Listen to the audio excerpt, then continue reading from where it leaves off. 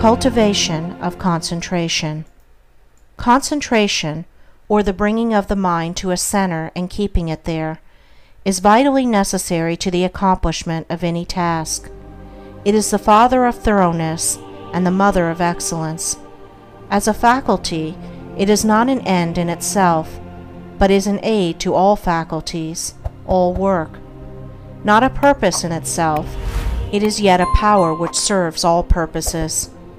Like steam in mechanics, it is a dynamic force in the machinery of the mind and the functions of life. The faculty is a common possession, though in its perfection it is rare. Just as will and reason are common possessions, though a perfectly poised will and a comprehensive reason are rare possessions, the mystery which some modern mystical writers have thrown around it is entirely superfluous. Every successful man, in whatever direction his success may lie, practices concentration, though he may know nothing about it as a subject of study. Every time one becomes absorbed in a book or task, or is rapt in devotion or assiduous in duty, concentration, in a greater or lesser degree, is brought into play. Many books purporting to give instructions on concentration make its practice and acquisition an end in itself. Then this, there is no surer nor swifter way to its destruction. The fixing of the eye upon the tip of the nose, upon a doorknob, a picture, a mystical symbol, or the portrait of a saint, or the centering of the mind upon the navel, the pineal gland, or some imaginary point in space, I have seen all these methods seriously advised in works on this subject, with the object of acquiring concentration, is like trying to nourish the body by merely moving the jaws in the act of eating, without taking food. Such methods prevent the end at which they aim. They lead towards dispersion and not concentration, towards weakness and imbecility rather than towards power and intelligence. I have met those who have squandered, by these practices, what measure of concentration they at first possessed, and have become the prey of a weak and wandering mind. Concentration is an aid to the doing of something. It is not the doing of something in itself. A ladder has no divine knowledge, or the sweeping of a floor, without resorting to methods which have no practical bearing in life. For what is concentration but the bringing of a well controlled mind to the doing of that which has to be done. He who does his work in an aimless or hurried or thoughtless manner, and resorts to his artificial concentration methods, to his doorknob, his picture, or nasal extremity, in order to gain that which he imagines to be some kind of mystical power, but which is a very ordinary and practical quality, though he may drift towards insanity, and I knew one man who became insane by these practices, he will not increase in steadiness of mind. The great enemy of concentration, and therefore of all skill and power, is a wavering, wandering, undisciplined value in and of itself, but only in so far as it enables us to reach something which we could not otherwise reach. In like manner, concentration is that which enables the mind to accomplish with ease that which it would be otherwise impossible to accomplish. But of itself it is a dead thing, and not a living accomplishment. Concentration is so interwoven with the uses of life that it cannot be separated from duty, and he who tries to acquire it apart from his task, his duty, will not only fail, but will diminish, and not increase, his mental control and executive capacity and so render himself less and less fit to succeed in his undertakings. A scattered and undisciplined army would be useless. To make it effective in action and swift in victory, it must be solidly concentrated and masterfully directed. Scattered and diffused thoughts are weak and worthless. Thoughts marshaled, commanded, and directed upon at a given point are invincible Confusion, doubt, and difficulty give way before their masterly approach. Concentrated thought enters largely into all successes and informs all victories. There is no more secret about its acquirement than about any other acquisition, for it is governed by the underlying principle of all development, namely, practice. To be able to do a thing, you must begin to do it, and keep on doing it until the thing is mastered. This principle prevails universally in all arts, sciences, trades, in all learning, conduct, religion. To be able to paint, one must paint. To know how to use a tool skillfully, he must use the tool. To become learned, he must learn. To become wise, he must do wise things. And to successfully concentrate his mind, he must concentrate it. But the doing is not all, it must be done with energy and intelligence.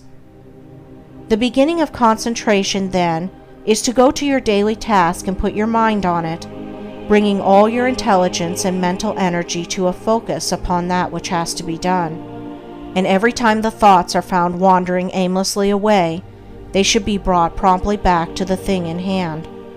Thus, the center upon which you are to bring your mind to a point is not your pineal gland or a point in space, but the work which you are doing every day, and your object in thus concentrating is to be able to do your work with smooth rapidity and consummate skill.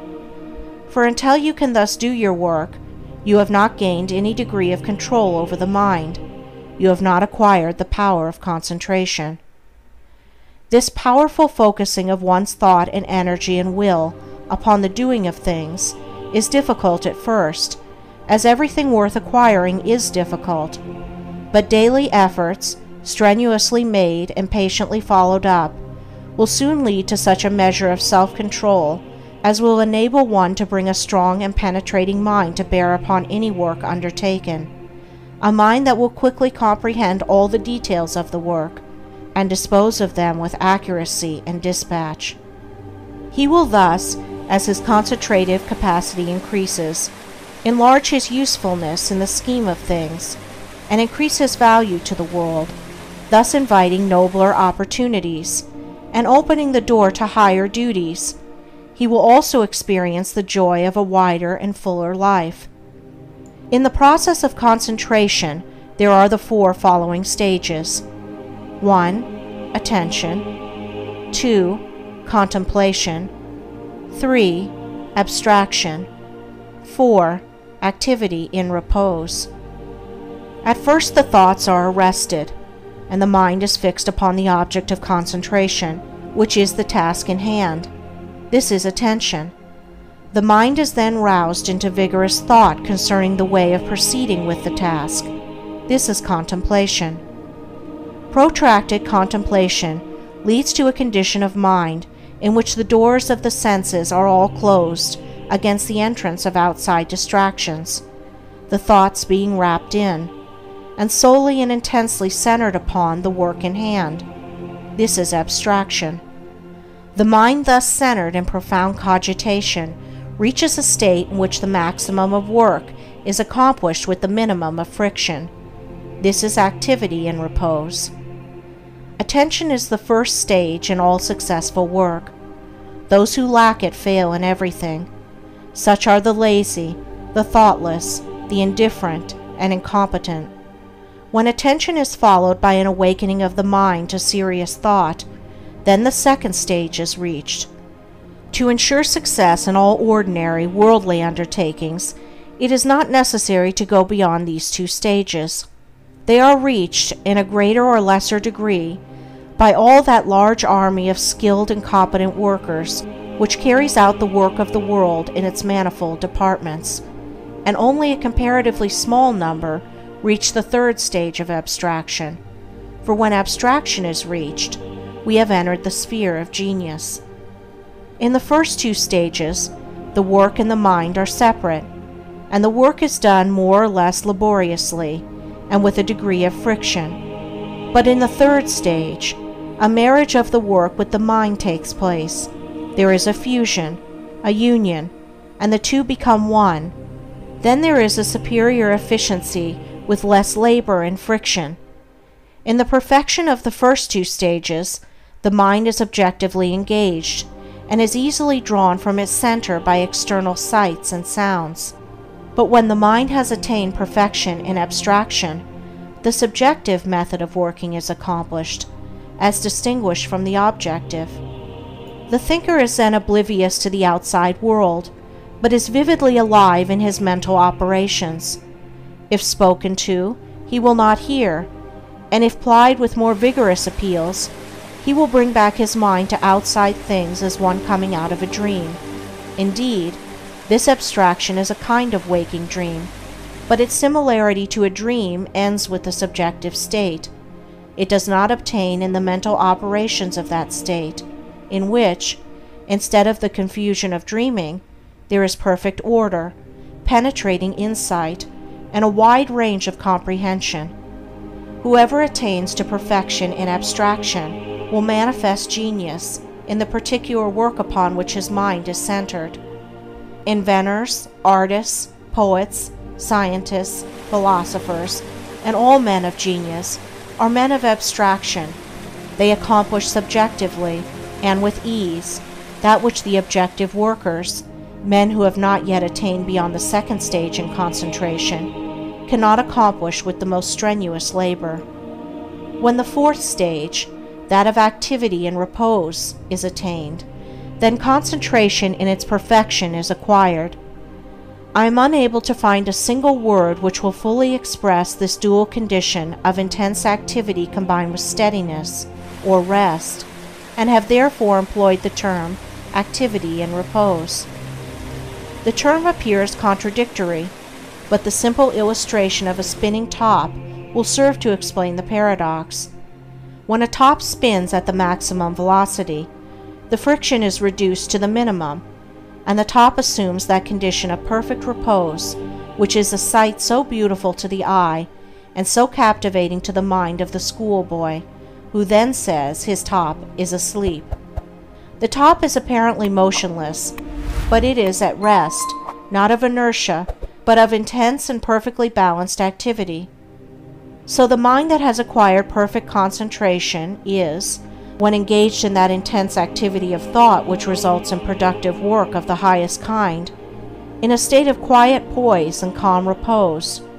Externally, there is no apparent activity, no disturbance, and the face of a man who has acquired this power will assume a more or less radiant calmness, and the face will be more sublimely calm when the mind is most intensely engaged in active thought. Each stage of concentration has its particular power. Thus, the first stage, when perfected, leads to usefulness, the second leads to skill, ability, talent, the third leads to originality and genius, while the fourth leads to mastery and power, and makes leaders and teachers of men. In the development of concentration, also, as in all objects of growth, the following stages embody the preceding ones in their entirety. Thus, contemplation, attention is contained. In abstraction, both attention and contemplation are embodied. And he who has reached the last stage brings into play, in the act of contemplation, all the four stages. He who has perfected himself in concentration is able, at any moment, to bring his thoughts to a point upon any matter and to search into it with the strong light of an active comprehension. He can both take a thing up and lay it down with equal deliberation. He has learned how to use his thinking faculties to fixed purposes and guide them towards definite ends. He is an intelligent doer of things and not a weak wanderer amid chaotic thought. Decision, energy, alertness, as well as deliberation, judgment, and gravity accompany the habit of concentration, and that vigorous mental training which its cultivation involves, leads through an ever increasing usefulness and success in worldly occupations towards that higher form of concentration called meditation, in which the mind becomes divinely illumined and acquires the heavenly knowledge. End of chapter 7. Recording by Andrea Fiore.